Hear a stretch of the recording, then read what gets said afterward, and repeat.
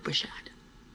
The Oprah shot? How you doing? This is Cory Hunter and welcome to another episode of Our Film School. There is a lot to pick apart when watching this movie. I heard a lot of interpretations and so I'm going to let you know where I stand on the film's meaning. So here we have Jordan Peele's third film, following Get Out and Us. It can be argued that his first two films overlap into the horror genre. But here we have more of a sci-fi movie, although that too can be argued but it definitely falls into suspense. The film centers around the Haywood family, who owns a horse farm in California that provide horses as needed for movies and TV shows and commercials. Due to an unfortunate accident, Otis, head of the family, is killed, leaving the farm to his son OJ and daughter Emerald. Neither of them is exactly cut out for the job, leading to financial problems. This forces them to sell some of their horses to a nearby western theme park. Eventually, the Haywood family becomes aware of a UFO, or at the very least, that's what they believe the figure to be. They figure out the UFO lives in the same valley as their farm and they come up with a plan. Their plan is to use this opportunity to profit by getting the first authentic footage of the UFO, and therefore saving their farm and family legacy. And that's the gist of it. Now, there are other major plot points that focus on others, such as Jupe, who owns the Western theme park with motivations of his own. There is a character by the name of Gordy who plays a major part in Jupe's past. And then we have other characters, such as Angel and Holst. Just so you can keep up, this is Otis Jr., aka OJ. He's our protagonist. And this is Emerald, his sister. They are the heirs to the Haywood Horse Farm and descendants of the first black man in person to ever be captured on film, or as Emerald puts it. Did you know that the very first assembly of photographs to create a motion picture was a two second clip of a black man on a horse? And that man is my great great grandfather. Great. There's another great grandfather. This lets us know the Haywood family is special by knowing of their ancestor, we learn three things about the family. They are trendsetters, tamers, and entertainers. Their fathers seem to possess all these qualities while these qualities are spread amongst brother and sister. With OJ being a tamer of horses and Emerald leaning more into entertainment as someone possessing many talents. Then we have Gordy and Jupiter. Ricky Park, aka Junpei, is a former child star who is a survivor of a hit show after a brutal attack on set back in 97. He has since masked his trauma under the banner of capitalism, exploitation, and showmanship. Gordy is the chimpanzee who is the cause of that brutal attack on set. We have Antler Holst, a famous DP and cinematographer whom spent his life in luxury, searching through endless footage for that perfect shot. And finally, we have Angel Torres, an employee of Fry's Electronics, who is instrumental in helping the Haywoods in a number of ways, but ultimately may very well be forgotten. So rather than spelling out the entire story in detail, that was all a refresher as I'm assuming you already saw the film, and if not, spoiler alert. What does it all mean? metaphorically speaking. On one level, it all comes down to exploitation. The Haywoods are black, Junpei is Asian, and Angel is Latino, with the UFO, a apex predator that consumes and dominates all within its domain, is white. Therefore, on one level, they are all prey to the UFO that attacks anything it feels is a threat to its existence and status it becomes apparent that the UFO especially target those who stare straight at it. This is given a lot of context. For one, slave owners didn't take it lightly when looked straight in their eyes by blacks, seeing it as threatening and blacks as not submissive. It also hides itself in the cloud, becoming that more powerful because it can't always be seen. That inspires fear because the threat is unknown because you know you're constantly being watched. Ultimately, we have the colored flags and two people that proves to be instrumental in taking the UFO down. The colored flags usually being attached to things that actually hurts the UFO, but metaphorically, this can represent people of color whom, when united, can bring down the white oppressor. Why the Western feel in setting? So, the majority of this film takes place on a horse farm in a Western theme park. Like in Western films, we see more land than structures, and OJ reflects the classic hero in those films. The skilled yet almost silent protagonist. Now, Western films, or more properly known as American Westerns, reflect a time in American history where America acquired a bunch of land and encouraged people to move west. In the time shortly after the Civil War, it was a time of lawlessness, great tensions, and expansion. But perhaps the two largest characteristics of this era was, for one, it's very American, where Japan have samurais, and Europe their knights of medieval time. America have their cowboys. Second, it was a time of great exploitation. The land was exploited for gold. Land was taken from natives. Prostitution was the norm. Cowboys emerged as a way of living, that is, taming cattle and people was exploited for profit, with the construction of railroads a prime example of this. This all fits nicely in the theme of exploitation. So, what's in a name? So, we have our protagonists, OJ and Emerald.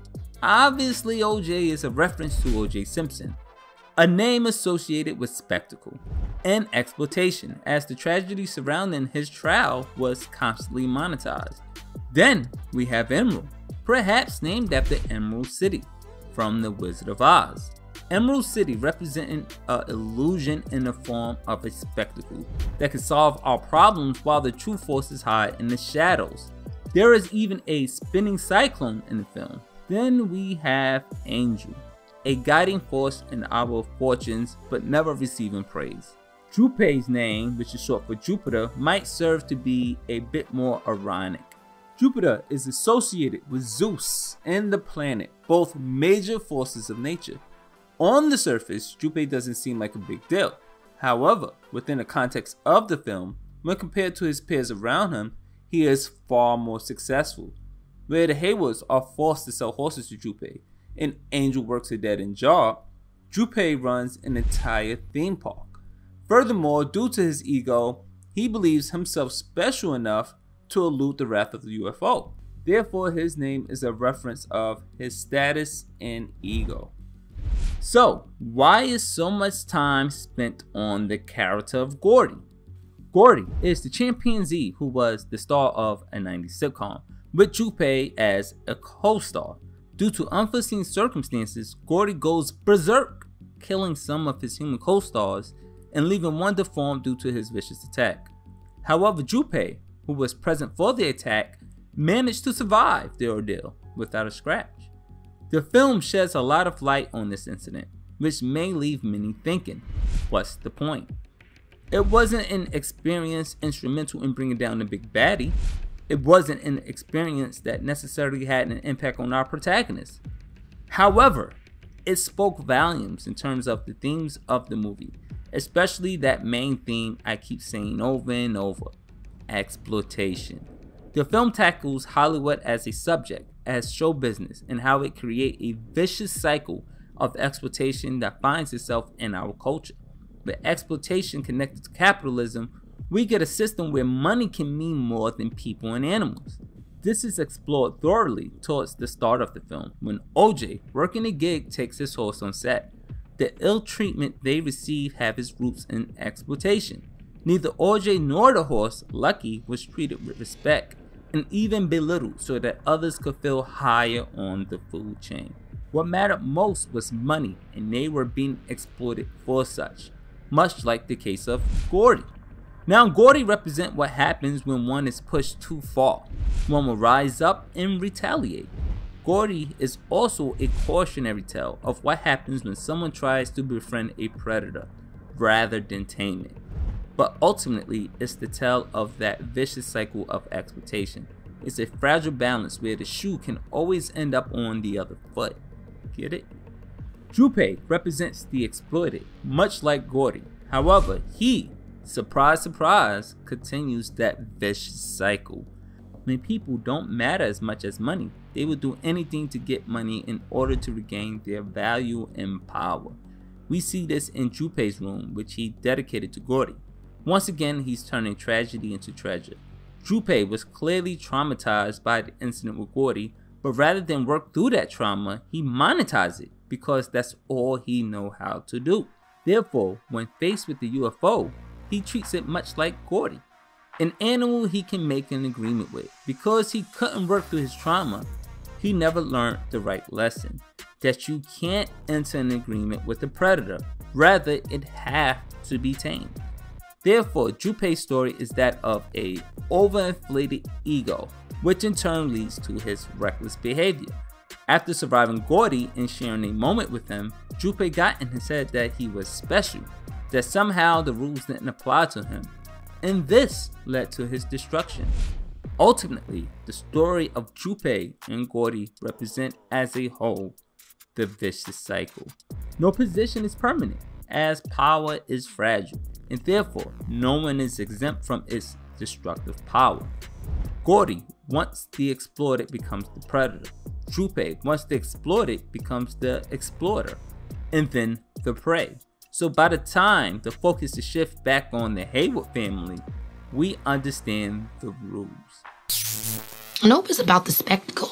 It's about the thing that we have, all of us have, in chasing something outside of ourselves or focusing on something that's far outside of ourselves, so much so that we don't realize what we have around us that is worth appreciating until it's too late. The spectacle. It's that thing we're chasing, that thing we make our primary focus and therefore cause us to lose sight of the things that really matter. With that said, the definition the film gives for spectacle is broad. It's Hollywood, fame, fortune, celebrity, validation, glory. It's reality TV, it's streaming services, it's social media, and all the things that capture our attention and turns us toxic. This is shown pretty directly by the UFO, who is the spectacle itself. Those who look at it is consumed by it. We can avoid destruction by looking away, which seems to me like a parallel of Sodom and Gomorrah. But a more direct parallel would be between that of the spectacle and a horse. Just as a horse may raise up when looked straight in the eyes, so does the spectacle. At its core is a beast that operates on certain rules. All the characters in the film saw the spectacle as something different and in many ways as a way of attaining their dreams, and this isn't necessarily wrong.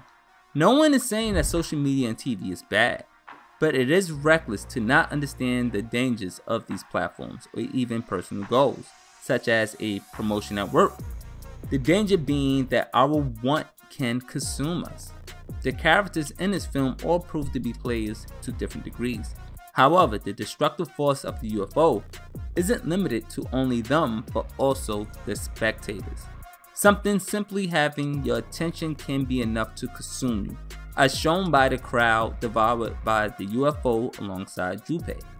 Now, we shouldn't let it go without reflecting on how the UFO camouflages itself, and that is within the cloud. It's hiding itself, and so on one level, the spectacle can go unnoticed, although influencing us if we're not alert. Also, the cloud sits above us, in the sky as if presenting itself as Cloud 9, something containing all our hopes and dreams. And that's how the characters look at this cloud. They look up and see some kind of hope, those unaware of what that cloud really contains becoming the most vulnerable. At the end of the day, the spectacle is just a beast, and it needs to be tamed like any other beast. Now, usually, when we think of a beast, we think of a lion or bear an animal that can be wrathful. But here, the parallel is made with a horse. A horse is powerful, but it can also be majestic. However, if we lose sight of how dangerous it is, the horse can harm us. Therefore, the spectacle, just like the horse, needs to be tamed or we run the risk of being consumed. So what do the characters see when they see the spectacle? Well, what Junpei see is fame and fortune, as we already picked apart. Antler Holst, the famous cinematographer, sees glory. He's willing to give up everything in his pursuit of getting that impossible shot. This begs the question, Whatever it is you are chasing, what is it worth to you? And is it worth sacrificing everything for it? Then we have Angel, who feels invisible as he works a dead end job, and very likely wounded as his girlfriend left him for a CW show. What he is chasing is validation. His journey asks the question, who does the validating? Then we have Emerald, who's doing all this for money. Now the Haywood family is different from all the others. Everyone else may or may not know what they are dealing with, but the Haywoods know exactly what the spectacle is, and that's a beast in name of taming. Because of that, Emerald never forgets exactly what she's dealing with. Unlike Holst, who might get the perfect shot and is willing to die for it, Emerald is capable of letting that dream go and become satisfied with what she can attain a photograph of the UFO. Because she's grounded, she gets exactly what she needs without becoming consumed by this beast. Before we continue, let's not forget about the TMZ guy. He is much like Junpei in that he sees a paycheck. However, more than anyone else, his pursuit is a reckless one, one without him fully understanding what it is he's chasing. Because of his recklessness, he crashes and burns fairly quickly. And finally, we have OJ, and what he sees when he sees the spectacle, something Emerald also began to see, is Jean Jacket. Now I know you may be asking the question, who is Jean Jacket? Jean Jacket is a horse from the Haywoods youth that was in need of breaking and taming. Emerald felt she should have been the one to tame the horse, but ultimately it was OJ who was taught to. Truly seeing a UFO for what it really is, OJ was able to draw on his experiences and training and ultimately play an important role in bringing this creature down he's able to do this because he sees the UFO as a dangerous animal that can be tamed and worked if handled correctly. So, what was happening exactly with the UFO and his transformation at the end? Well, the spectacle was simply putting on more of a spectacle as it became more and more aggressive. As a viewer, we was looking at it wondering exactly what we were looking at, and that's exactly what the UFO was trying to achieve. Like the Haywood family, we should have learned the lesson by the end of the film. It was simply a creature, puffing up as it consumed all in its path. This is a callback to Junpei and Gordy. This apex predator that once sat above everything at the top of the food chain was now the very thing being toyed with and exploited. Once again, power is a fragile thing where any can be consumed in this vicious cycle. Much like Junpei, the UFO dies due to its inflated ego. And quite literally, if you saw the film, it doesn't get any more straightforward than that. So what's up with that Scorpion King hoodie? At the end of the film, we see our hero put on a bright orange hoodie with the title Scorpion King written on it for the final showdown. It's too bright to be ignored, so let's explore it. All the wardrobe in this film was given a great deal of thought, but here we're just going to focus on the hoodie. On a logical level, OJ wears it to draw the attention of the UFO, but it's a little deeper than that. The Scorpion King was a decent summer blockbuster featuring The Rock that came out in 2002. The Haywoods worked on the crew training horses for the movie. So on one level, it reflects a key moment from OJ's past, the first time he worked with his father on a major set. And that's the origin of the hoodie itself. It's a relic from that film and moment. We later find out camels were used instead of the horses, and therefore the gig didn't bring the Haywoods the success they were hoping for. Just as glory, fame, and fortune eluded their great great great grandfather, it eluded them again during the making of that film. So on another level, it represents the Haywoods' missed opportunity and the vow to finally capture that glory that had been eluding the Haywood family for generations. Also, it was for this film OJ was being taught to break in and tame the horse Jean Jacket. Although their father overlooked Emerald for this role, OJ acknowledged her. So yet on another level, this hoodie represents a critical moment between brother and sister from their past. Therefore, this hoodie serves to remind us of the Haywood family's history, their obstacles and motivations, which fuels the themes of this film. as we head to the resolution of those themes. Yeah, a month and a half later, I didn't know what I was doing. He just sent me a movie list. It was uh, Close Encounters of the Third Kind, Jaws, and No Country for Old Men, 2001 A Space Odyssey, and Alien. And I watched all these movies and I'm like, what the hell is he doing? What is this movie? I know all that is a lie, but a far more simple explanation of this film is that it's a tribute to other films. The films this film plays tribute to are Close Encounters of the Third Kind, Jaws, No Country for Old Men, 2001 A Space Odyssey, and Alien. Once we see what all these movies are about, we can then see elements from all these films and note. Close Encounters of the Third Kind is about a everyday blue collar worker who life changes after an encounter with a UFO. No Country for Old Men is about the perils of a lawless land where violence and dread rules. 2001 A Space Odyssey is known for its symbolic imagery. Alien is a horror film featuring an alien.